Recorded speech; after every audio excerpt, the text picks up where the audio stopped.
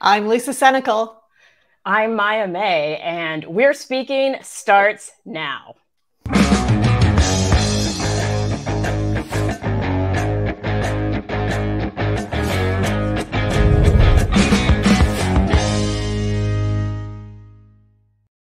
Holy shit. Wow. Welcome to It's the second week of 2022 and it feels like a it, year. It, yeah, year. it feels like we should be celebrating New Year's Eve 2023 in like a couple of weeks. This has been uh, this has been slow so far, but uh, hopefully it's going to become so much fun that it just breezes right by and ends with a great celebration in November. Yes. For democracy. So. Democracy. I'm a big fan of democracy continuing and we that is what we are all about and we're coming at it with a lot of energy this year.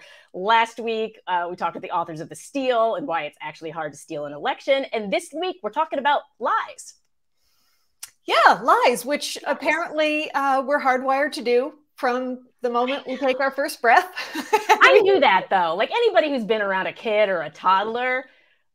Oh, they're outstanding liars to a hilarious degree at times. But yeah. uh, unfortunately, not all the lies are funny as people grow up. So we're going to be talking about uh, lies, little and the big lie. The big lie, the huge, huge lie. And apparently, lies, the bigger, the better. And it feels right now like we're living in a world where it's like, you know, finally Biden actually called it a lie, right? Like, use the word lie, which is a very big deal. A president, I don't believe, has ever called their predecessor uh, out online. Uh, and so it's like we're in a new world in 2022 where maybe we're calling it as it is.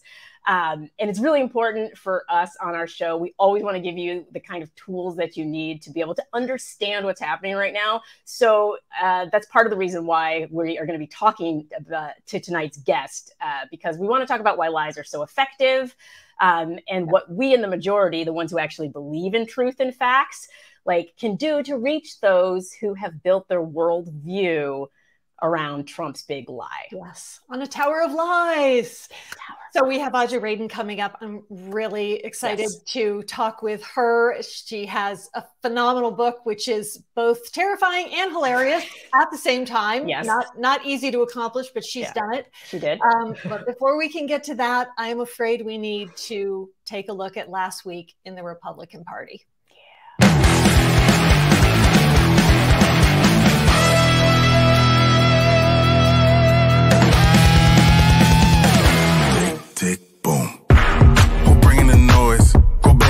Baby, we bringing our toys. Separate men from the boys. Chopper be singing, should be on the voice. So if you're losing faith in Donald Trump, you're really losing faith in the God that put him in office. And that's a dangerous thing, okay? Everyone needs to leave Twitter. This is a platform that thinks it's more important.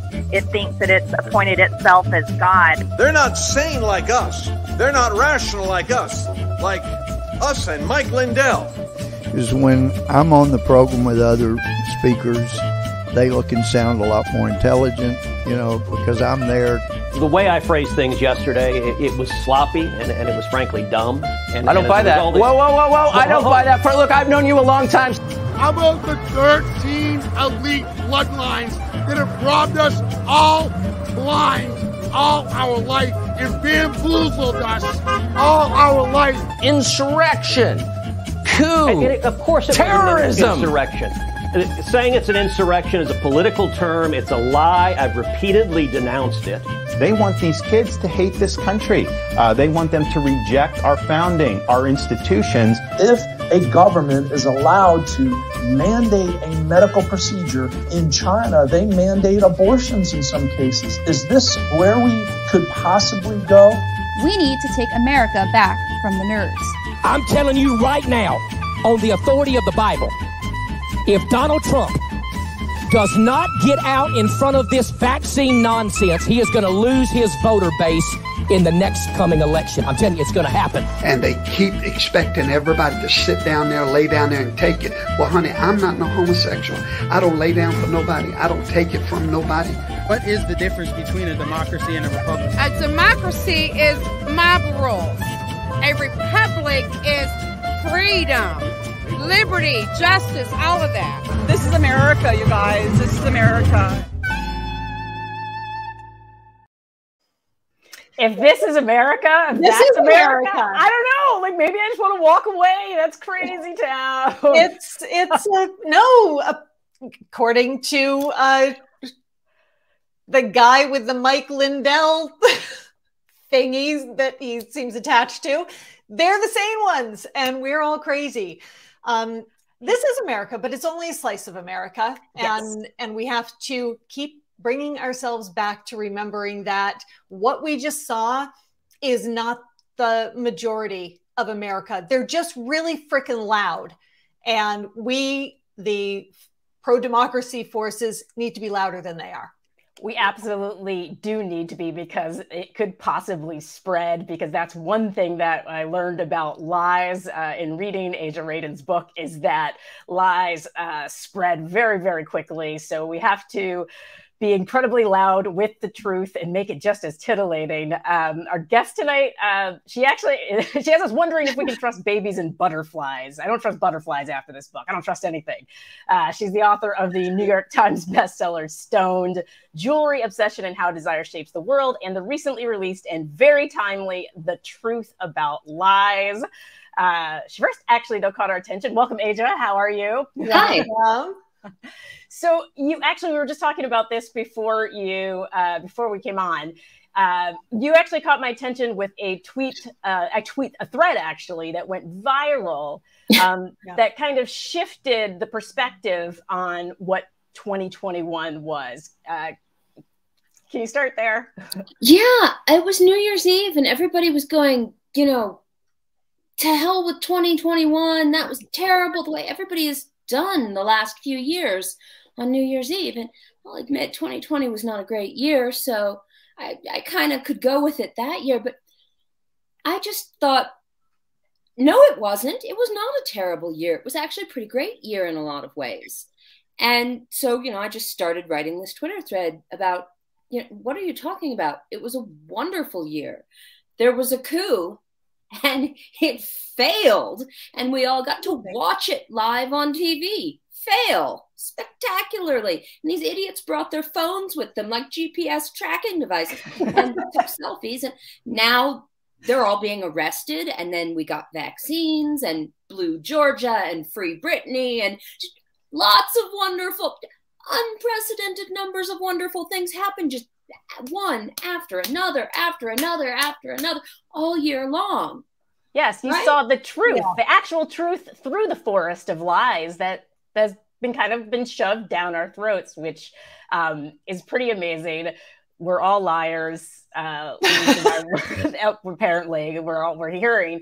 Um, we have a clip that we wanted to pull really quickly as we're starting. Um, Tucker Carlson. At least he owns it. Yeah, he owns it. I mean, I lie. If I'm really cornered or something, I lie. I really try not to. I try never to lie on TV. I try, I just don't, you know, I don't like lying. I certainly do it, you know, out of weakness or whatever. Well, I clocked five lies right there. Yeah. that I know of. And, and I think the top one is I don't like to lie. I think Tucker loves. I try not to do it on TV. Right. yeah. Well, he doesn't make it through much past his name introducing himself on the show without uh, lying. And I, I would even like to go back and make sure that is actually his name. I was about to say, isn't it Swanson? exactly. Yes, it is. Lying about his name, even. so we brought up the babies a couple of times um, because babies are liars and, for good reason, good evolutionary reason. Staying alive is important. Um, so you talk about that in your book. Obviously, Tucker didn't outgrow it, and babies don't outgrow it. So tell us what is this foundation of lies that we are apparently all built on? Well, you know, it's complicated because there are a lot of reasons for it. But the, the fact of the matter is, we all lie, and it's not just humans. Everything lies. You mentioned butterflies.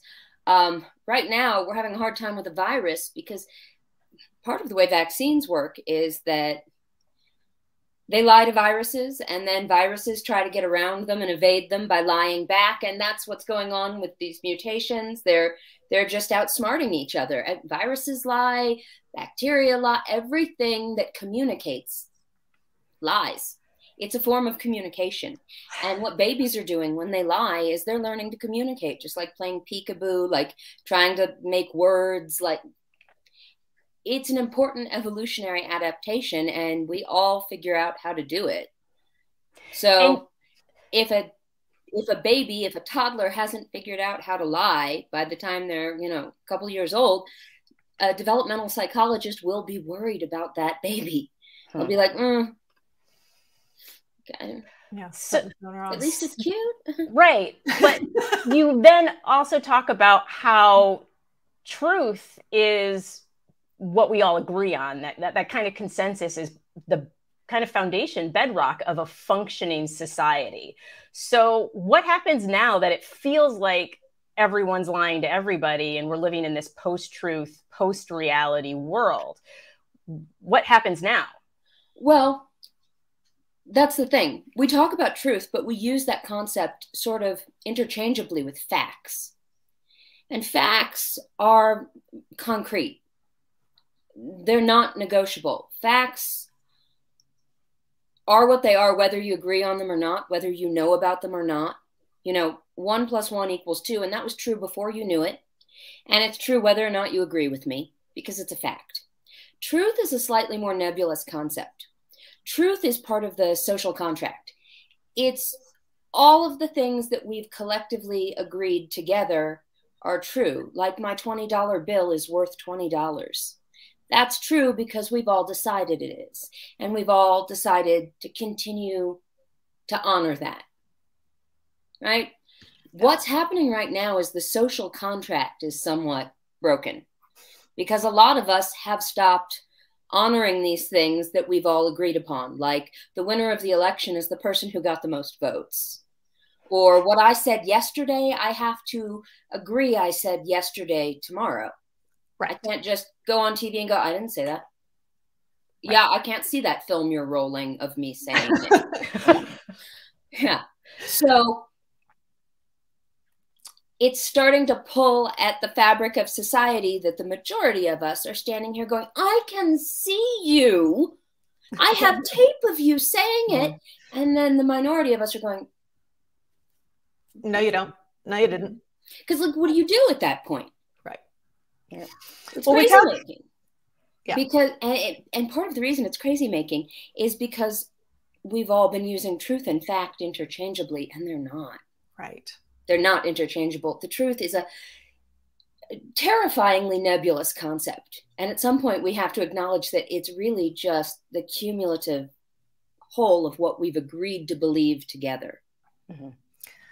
Well, there are a lot of people who have now come to agree together that the big lie is true. Mm-hmm. So uh, we know that currently, when we talk about the big lie, we're talking about the lie that Biden didn't actually legitimately win the 2020 presidential election. But the concept of the big lie long predates 2020 and Donald Trump.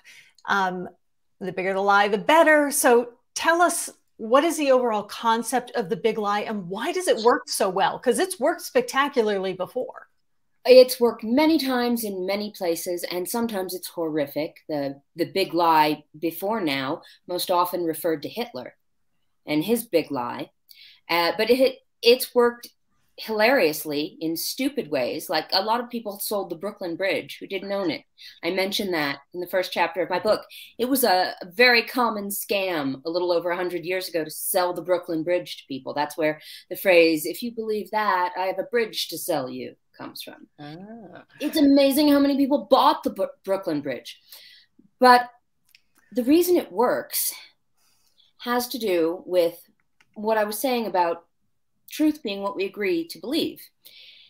And most, there are different kinds of lies and they work differently. And most of them, though, rely upon subverting our sense of reality or tricking or subverting our perception of reality.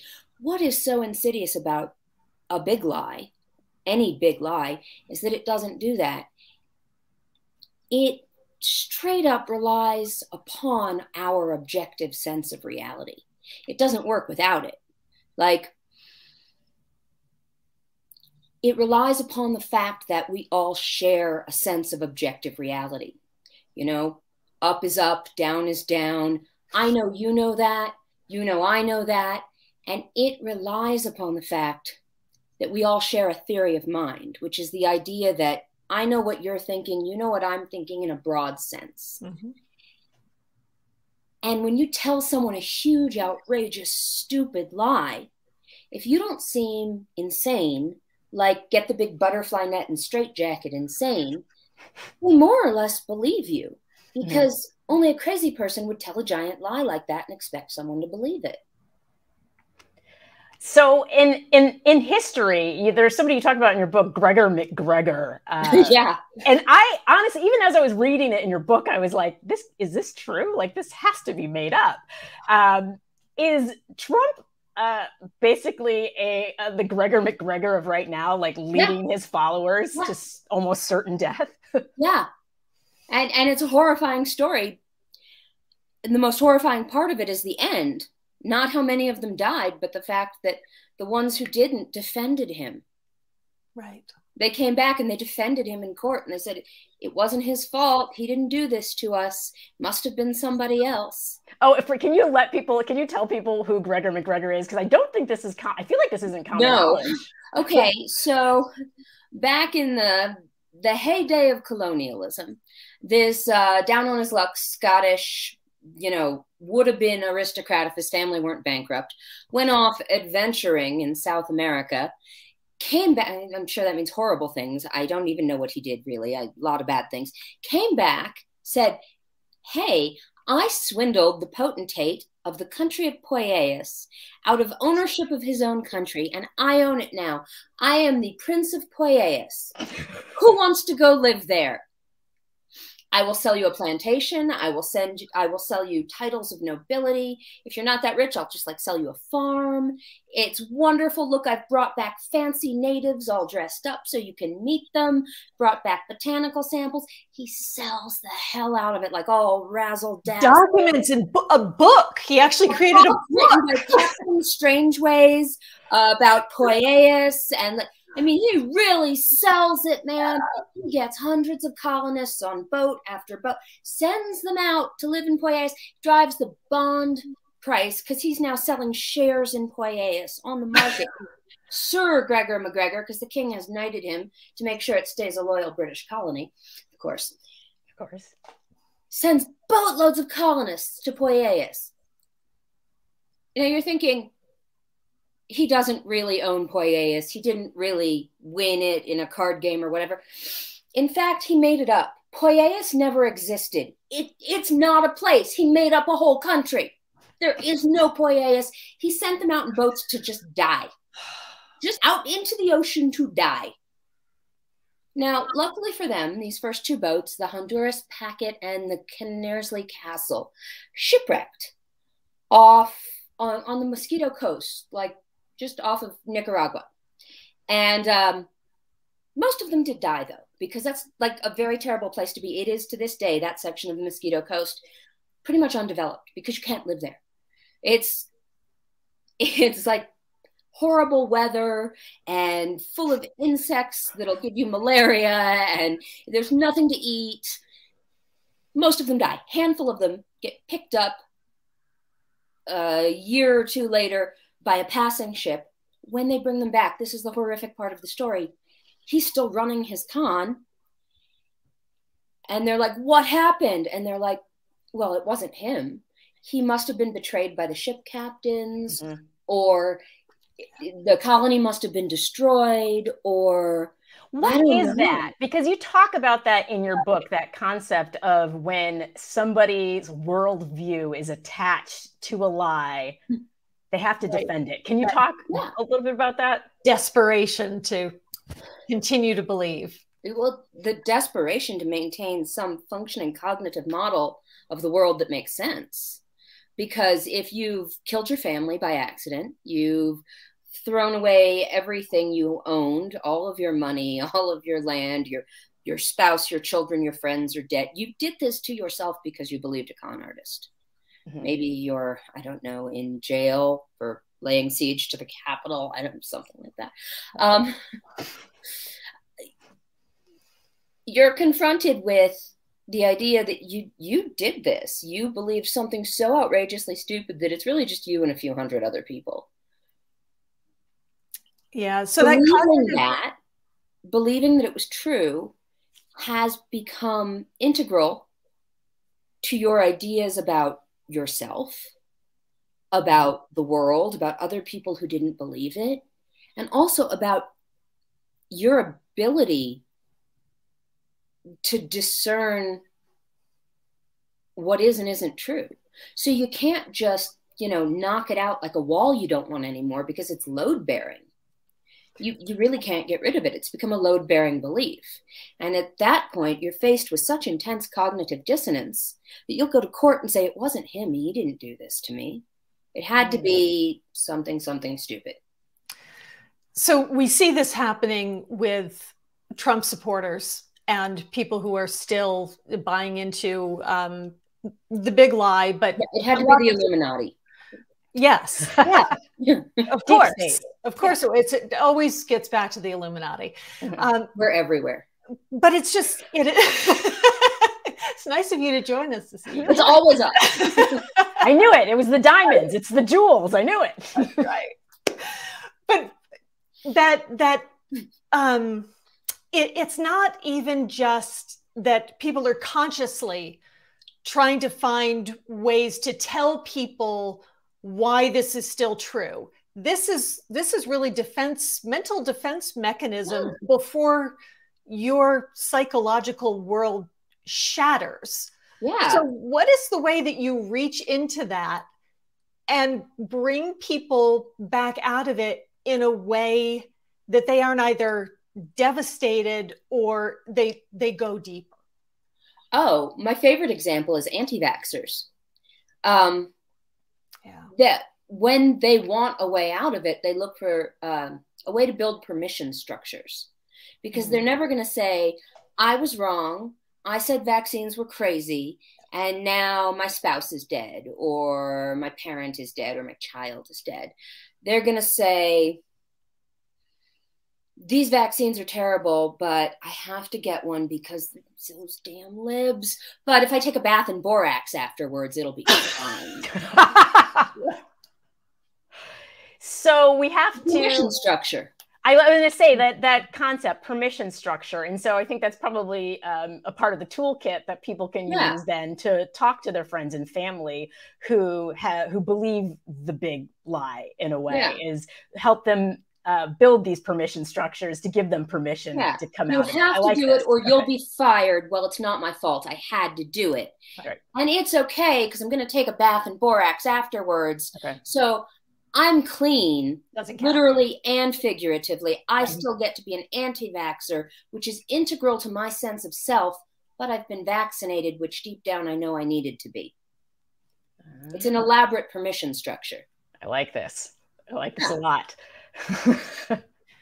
yeah and there are there are a lot of different things that we could have in our toolkit but uh, so much of this is understanding so much of what i learned reading your book. It really is an incredibly um, entertaining educational and as i said at the top of the show slightly terrifying um, book but it's it's great. There so there are all these different things that you talk about it in it and one of them that i find really interesting is confirmation bias um, because it's confirmation bias has always been it's like you start uh, someone tells you something you believe it all of a sudden you start seeing evidence all around you that confirms that you're right to believe whatever it is you've seen has the internet just blown this up and made confirmation bias just insanely easy to get now confirmation bias has always been insanely easy. Like you just read this new book. Now you're going to see confirmation bias everywhere, right.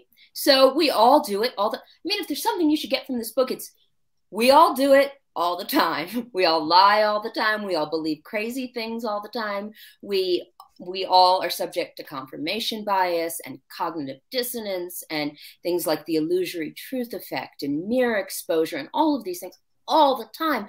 The world we construct around ourselves is is just barely real and hardly shared with each other. So but yeah, the internet has blown everything up and made it much bigger and much weirder. And the most interesting so yes to answer your question absolutely. If you're looking for confirmation of something you already believe just push the buttons on the magic box and it will be presented to you just instantly. Yeah.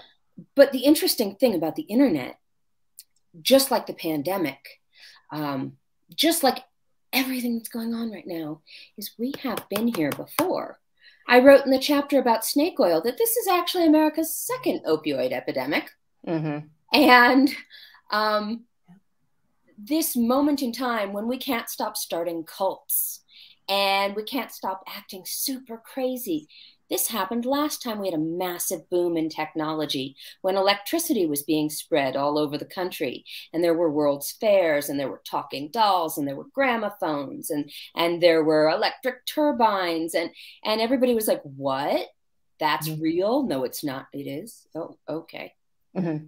Well, that's not, it is? Oh, okay. So seances are real, right? Oh, okay. I'm going to join a cult. Like, and so many cults were started in that decade. So many cults. It's crazy. Lots of them are still around. and, and that's what's going on right now because it's just too much new. People cannot be expected, mere humans, to take in that much change in just like two decades and still be able to just, you know, discern what's real and what isn't. Right. It is information overload. And it's it's interesting because right now what we uh, assume to be true, um, you talk about authority uh, bias. And um, I know we're running out of time, but I definitely wanted you to touch on that because we see the OANs, the Fox News, and all of these you know what people believe to be true news outlets and these people who are speaking who's just like could be some guy in his basement saying yeah. whatever but he's on the thing that looks like a tv what yeah. what does that lead us what dangerous road does that lead us down? Oh humans have okay so all lies are designed in some way to exploit a cognitive or neurological loophole in the way we think. And those loopholes exist because they're attached to some advantage, some advantage in the way we think that has served us well in evolution. And like honesty bias is the most fundamental one. We are all biased to simply believe what we're told. And if that weren't true, we couldn't learn to talk. We couldn't learn anything. If, if somebody didn't just present you with information, you went, okay. Unfortunately, the flip side of that is sometimes people present you with information and you go, okay. And that's the simplest form of lying. Authority bias is that as a hierarchical group, which we are as primates, we have a bias toward believing, trusting, submitting to authority figures. If somebody's wearing a white coat, like a doctor, we go, Yes, doctor. If somebody shows us a badge, we go, Yes, officer. If you ask someone a question and you perceive them to be an authority figure, any kind of authority figure, you are more likely to believe them. And that means if you ask a police officer, how do I install Chrome on my computer? And he tells you, you're more likely to believe him than just like a random person, even though you know intellectually he has no more information about it than your friend. You have a bias toward authority. So when you see somebody on a screen, a famous person, who tells you, I have the secrets to youth and longevity, you believe them because they're famous. Or if they're on OAN and there's a little logo in the corner, you go, that's a famous news person. They must know the news mm-hmm. because they have authority. They have the weight of authority behind them. And you can't help it because it's just built into how we think. So, really, because you know here we are on a box doing that thing it it goes back to i wish we i wish we had like two hours right now because there's so much i want to talk about because it really just goes down to it feels like we're in a battle over what's over what the consensus of reality is going to be it is that is such an important point and that's why it feels so scary right now, actually, that there's this whole chunk of society, and you're right, they're not big, they're just loud. What, like 30% of people vote? Maybe when you think about the fact that it's adults and it's not even half of adults, and then like what percentage of them vote Republican and what percentage of Republicans are for Trump? What is that? Like 12% of people, adults in the country, are these loud, crazy, angry? It's not that many, but it feels scary because really what they're fighting with us over is the fact that they've realized they can break the social contract just by going no i don't i don't care that you can see me that you remember what i said yesterday. So what they're really fighting with us over is maybe we don't want to agree with you about what reality is anymore. Maybe we're going to make up something else and maybe our reality is going to be the new reality if we fight you hard enough about it. Damn you see, that's why that's what they're actually doing. Maybe we're going to write the new reality, right? Which we cannot cannot allow. Absolutely not. Absolutely not. Everybody, no, no. But that's not most of them. Most of them have just like believed a big lie or joined a cult. That's the Roger Stones and the Steve Bannons and right. the Mercers. That's the people who are going. We're going to fight you hard enough, and we're going to invent a new reality. Right. Right. But they don't have to win. And we, we do have, yeah, we have the tools to fight back against this. 2021 didn't suck the way we great, all thought it did. It was a great year. Great year. 22 is going to be better. Yes, it is.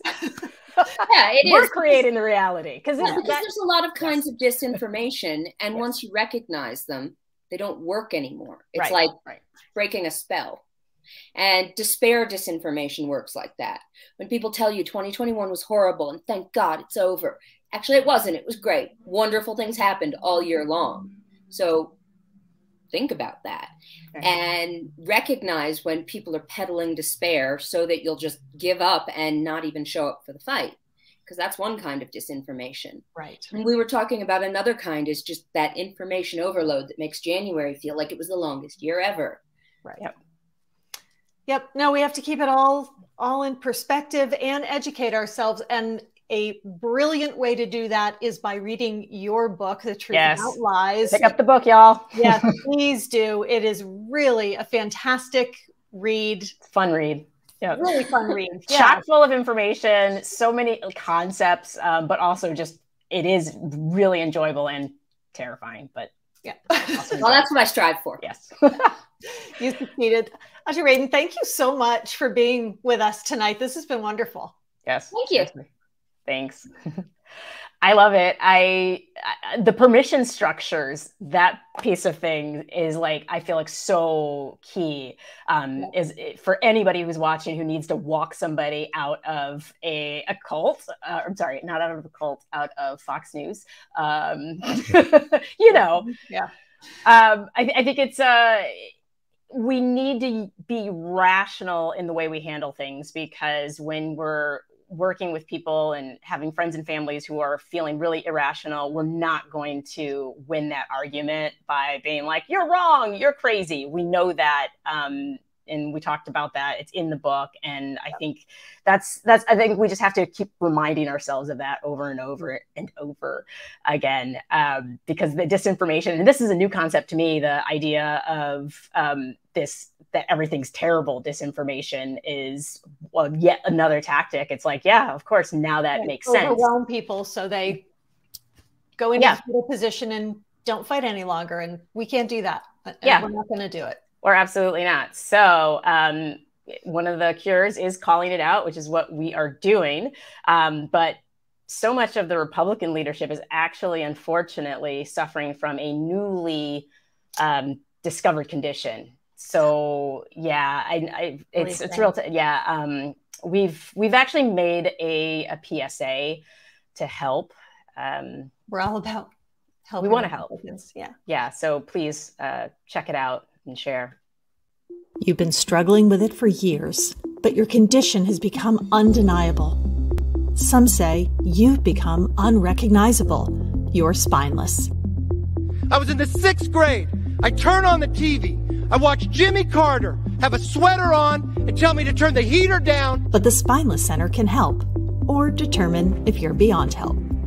Our exclusive therapies offer hope to those afflicted by spinelessness, which can manifest as weak knees, lily liver, gutless wonder, heart conditions such as chicken heart and being faint of heart, a lack of desire to defend or continue living in a democracy. I wasn't saying that the thousands of peaceful protesters supporting Donald Trump are somehow terrorists. And an otherwise inexplicable urge for a new pet like a scaredy cat or jellyfish.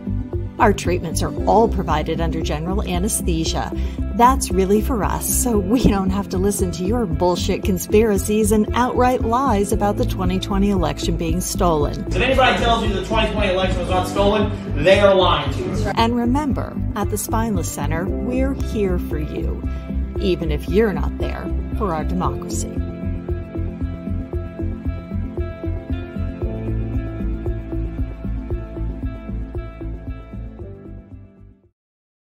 This is the other solution. Get your, I don't know if it's going to be covered by insurance, but people need to get some of their friends and family members, some of our politicians, to Yeah. the spineless center near you. Yes, as soon as possible. Unfortunately, I'm sure there's a lot of there are a lot of open appointments because I haven't seen a whole lot of Republicans lining up to uh, get new spines. They're like. I don't want to go to spineless center. No, We're good. We're good. no, they need to go. yeah. Yeah, and, and we're seeing we're seeing so many examples of it. We saw Ted Cruz, little clip a couple of times, both in that piece and in our last week in the Republican Party when he was on with Tucker Carlson and became a complete jellyfish as he backpedaled and tried to, um, you know, get back in dear leaders' good graces, which apparently now, you know, the the arbiter of what those good graces are is Tucker Carlson and and he's going to police the Republican Party. Um, it's really it's terrifying, but here we are. It, yeah, here we are. Um, and it, you know, but we are going to be here as the antidote uh, to, to, to counterbalance, um, because truly, I think what we're seeing is that the truth eventually will prevail as long as we are loud with it. Um, I think they have uh, they have fucked around. I think is what they've done. They fucked around, and they're going to gonna find out. They're gonna find out. Which um, we decided we'd put that on a shirt. Um, let's see it. Do we have the shirt? We got the graphic. Yeah, it's a new team. That's a team. It's um, we're starting a basketball league actually. The Lincoln Ladies. so that's the women's I team. so if anybody wants to sub in for me, that would be cool. You can get your fuck around and find out tea on our on our, our website. We might have one for the dudes. I don't know the Lincoln Logs. I don't know. We're the Lincoln Ladies. I don't know. please, please, yes. I think we need that. Um, Oh. Thanks everybody for being here with us this week. We will see you uh, again next week. Don't miss the breakdown tomorrow night uh, with Tara and Rick at 7 p.m. Eastern, 4 Pacific, and we will be back next Wednesday at the same time. Yes, we will. And then stay tuned because we're going to re air the town hall uh, from last week right after the show. And it covers our 2022 strategy. So definitely important to check it out. Um, other than that, we will see you next week. Bye, everybody.